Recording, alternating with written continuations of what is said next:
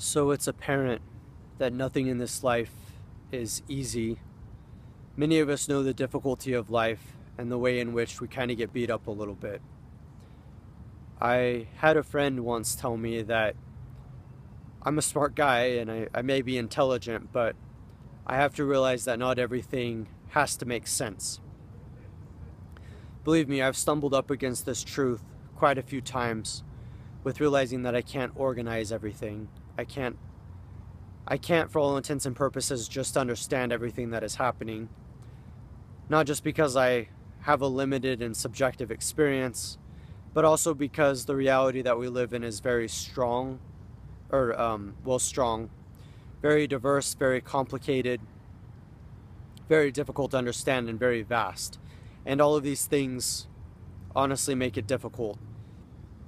It's like trying to corral the cats, so to speak. The idea of trying to bring order to chaos when things actually thrive better in chaos. The difficulty being that chaos is difficult to understand and to live in. Now, whatever you may make about the complexities of the world that we live in, all I can say is that, yeah, the, the pain of this complexity, the pain of not being able to understand, the pain of not being able to get it, uh, really makes its mark on me. Not just because I'm an empath and I absorb people's emotions, but because I don't even necessarily see myself as the person that I want to be.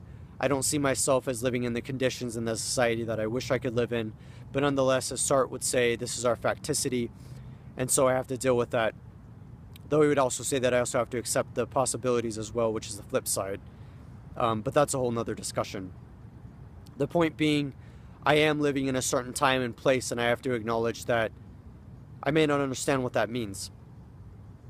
Now, I'm thinking about these things because I always think about these things, but I have to admit today was a very difficult day, you know, with thinking about how I don't always understand what my friends are telling me, I don't always agree with them, and how that can be difficult to engage with.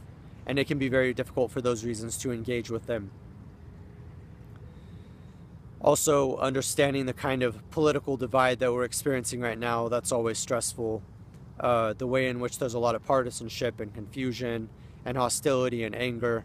Um, the way in which that I, uh, there's a political divide between me and some people that I know, people that I'm even close with, and people that are related to me, and that's very, very hard. And I don't know what to do with it. I know that I can't really change their mind, but I hope that someone somewhere can persuade them of much more calm thoughts calm political perspectives, but I guess if we feel like we have to fight for everything and fight everything, then that won't really matter. But anyway, I won't get into that.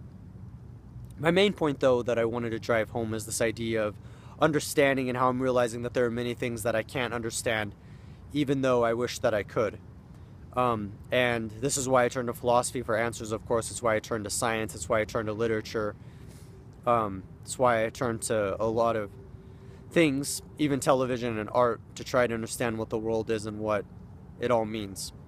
And I can acknowledge, as my friend said, that I can be intelligent, but that not everything has to make sense.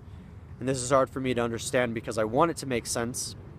And even making this video is an attempt of me trying to make sense of it. But I guess all I can really say is that even though the pain that I feel and that many people around me feel is very real, it doesn't mean that I can't continue to strive and keep trying. And that's what I would say. Just try to come to your own philosophy, try to come to your own understanding. And I can say that to myself, and really, in the end, that's all we can do. This is Phoenix, and thank you.